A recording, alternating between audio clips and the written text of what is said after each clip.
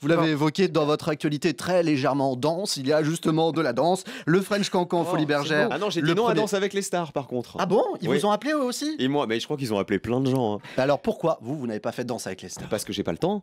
Vous pas le droit peut-être. Ah, franchement, j'aurais adoré. Alors, j'ai pas le droit, c'est vrai. Oui. Premier truc, j'ai pas le droit Premier. parce que j'ai une exclusivité avec France Télévisions, Mhm. donc je peux pas aller danser sur TF1.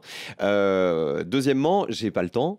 Et troisièmement, je danse pas super bien. Mais, Oui, bah ça. Oh, mais ça, c'est franchement, pas grave, ça, s'il hein, y avait pas le problème de l'exclu et s'il y avait pas le problème du timing, Oui. sincèrement, je l'aurais fait parce que euh, parce que c'est génial comme émission. C'est génial. Donc là, vous avez toujours cette envie d'aller fouler le parquet les Ouais, stars. enfin, il y, a- il y a quand même. Je, je- comment vous dire que je suis un petit peu occupé, donc euh, j'aurais pas le temps de travailler mon foxtrot. euh, si en plus comme du il faut. cachet, il rajoute une petite tape de chevet pour vous faire venir, Ah, ça dépend de la Assez hauteur. haut. N'oubliez pas. ça peut Là, se je- négocier. Je suis sûr que je vais recevoir des tapes de chevet en kit. vous allez voir.